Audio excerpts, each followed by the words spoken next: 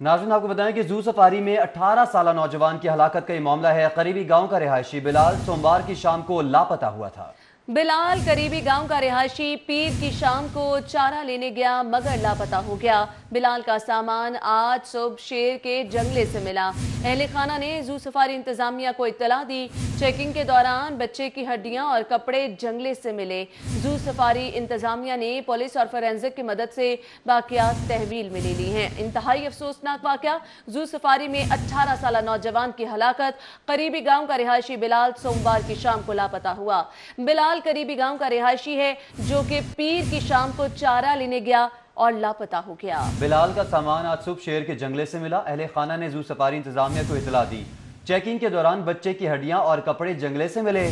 Zoo safari इंतजामिया ने police और फोरेंसिक की मदद से बाकियात तहवील में ले ली हैं। अफसोसनाक खबर है, जिसके हवाले से आपको अपडेट कर रहे हैं। जू सफारी में अठारह साल नौजवान की हलाकत। करीबी गाँव का रिहायशी बिलाल सोमवार की शाम को लापता हुआ। बात कर लेते हैं सादिया खान से। जी सादिया खान।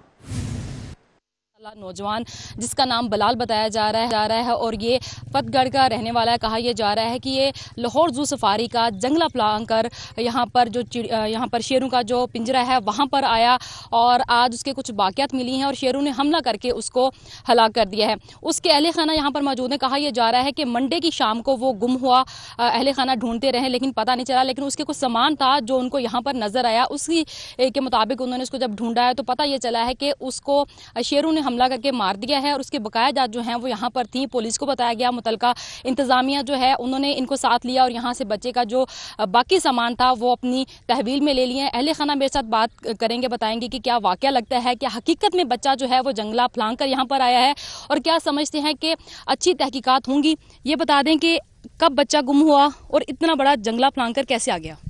पीर की शाम को बेटा नहीं आया बच्चा नहीं आया घर सब ढूंढा सुबह से लेकर शाम तक कोई नहीं आज भाई इधर आया तो उसका कुछ सामान इस जंगले के अंदर पड़ा हुआ नजर आया है उसके ਸਮਾਨ ਸਮਾਨ ਦੇ ਵਿੱਚ ਕਿਹੜੀ ਕਿਹੜੀ ਚੀਜ਼ ਸੀ ਸਮਾਨ ਉਹਦੇ ਇੱਕ ਦਾਤਰੀ ਸੀ ਤੇ ਇੱਕ ਉਹ ਬ- ਪੱਲੀ ਜਿਹਦੇ ਨਾਲ ਪੱਠੇ ਜਿਹਦੇ ਲਈ ਜਾਂਦੇ ਚੱਪਲ ਬਸ ਜਾਂ ਚੱਪਲ ਹੁੰਦੀ ਜਾਂ ਕੱਪੜੇ ਫਟੇ ਹੋਏ ਮਿਲੇ ਨੇ ਨਹੀਂ ਤੇ ਅਗਰ ਉਹ ਪੱਠੇ ਵੱਢਣ ਆ ਰਿਹਾ ਸੀ ਤੇ ਉਹ ਸ਼ੇਰਾਂ ਦੇ ਘਰ ਕਿਸ ਤਰ੍ਹਾਂ ਆ ਗਿਆ ਔਰ ਕਿੰਨੇ ਅਰਸੇ ਤੁਸੀਂ ਤੇ ਰਹਿ ਰਹੇ ਹੋ? ਅਸੀਂ ਸ਼ੁਰੂ ਤੋਂ ਇੱਥੇ ਹੀ ਰਹਿ ਰਹੇ ਹਾਂ।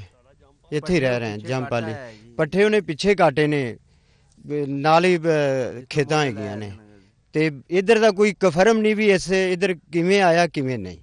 ਤੋਂ ਪਹਿਲੇ ਵੀ ਕੋਈ ਤੁਹਾਡਾ ਬੱਚਾ ਜਾਂ ਕੋਈ ਕੋਸ਼ਿਸ਼ ਕੀਤੀ ਹੋ ਇਸ ਤਰਫ ਆਉਣ ਦੀ ਕਿਉਂਕਿ ਉਹਨੂੰ ਪਤਾ ਬਾਅਦ ਨਜ਼ਰ ਆ ਰਿਹਾ ਕਿ ਮੌਤ ਇੱਥੇ ਕੋਈ ਇੱਥੇ ਸੀ ਕਿਉਂ ਆ ਕੇ ਪੱਠੇ ਕੱਟਣੇ ਨੇ ਕਿਸ ਵਜ੍ਹਾ ਤੋਂ ਕੱਟਣੇ ਨੇ ਪਤਾ ਨਜ਼ਰ नहीं आ रहा कि सामने ਦੇ शेर फिर रहे ने खुले शेर ने और इंतजामिया भी बार बार चक्कर लगाती रहती है कोई भी जाली के साथ खड़ा हो तो इनको पता चल जाता है लेकिन ये अंदर आके पट्ठे काट रहा है इनको पता नहीं चला तो उसका कुछ भी नहीं मिला सिर्फ़ एक सर की खोपड़ी लेकिन यहाँ पर तो मेरा नहीं ख्याल कोई चारा या पट्टे वट्टे कट्टे जाएँगे ये देख लें आपके सामने कोई पट्ठे काटने वाली चीज़ है तो खाने वाले जानवरों के तो देख लें आपके सामने। जो इंतजामिया की जानब से हमें बताया गया था वो ये था कि बच्चा चारा काटने के लिए आया लेकिन अगर आप यहाँ के हालात देखें तो यहाँ पर किसी किस्म का चारा आपको नज़र नहीं आएगा और ना यहाँ पर चारा काटा जा सकता है। तो जो लवाहकिन है उनको ये शिकवा है कि जी ये इल्ज़ाम आयद किया जा रहा है। पहले कहा गया जी बच्चा नबीना था दिमागी इमराज में मुबतला था जिसकी वजह से वो गलती से यहाँ पर आ गया लेकिन लवाहकिन कहते हैं कि बच्चा होशो हवास में था समझ रखता था अ, और दीवार फलांग के भी अगर आया है उनका ये शिकवा है या उनको शक ये है कि किसी ने इसको यहाँ पर भेजा है ये बता दें डाउट है कि किसी ने इसको यहाँ पर फेंका है या भेजा है कन्फर्म है कि शेर नहीं खाया है ਜੀ ਜੀ ਸ਼ੇਰ ਨੇ ਖਾਇਆ ਹੈ, ਇਹ ਜ- ਕਿਸੇ ਨੇ ਲਿਆਂਦਾ ਹੈ ਅੰਦਰ ਜਾਲੀ ਇੰਨੀ ਜਾਲੀ ਤੇ ਟੱਪ ਹੀ ਨਹੀਂ ਸਕਦਾ ਬੱਚਾ ਬੰਦਾ ਇੰਨੀ ਜਾਲੀ ਟੱਪ ਇਹ ਜਾਲੀ ਸਾਹਮਣੇ ਹੈਗਾ ਇਹ ਬਾਲ ਬੱਚਾ ਲੰਘ ਨਹੀਂ ਅੰਦਰ ਕਿਸੇ ਨੇ ਛੋੜਿਆ ਇਹਨੂੰ ਪੱਠੇ ਕਾਟਣ ਨਹੀਂ ਆਇਆ ਕਿਸੇ ਨੇ ਧੋਖੇ ਨਾਲ ਲਿਆਂਦਾ ਇਹਨੂੰ अच्छा अभी कोई कार्रवाई होगी पुलिस से आप कोई डिमांड कर रहे हैं इंतजामिया यहाँ से कोई डिमांड कर रहे हैं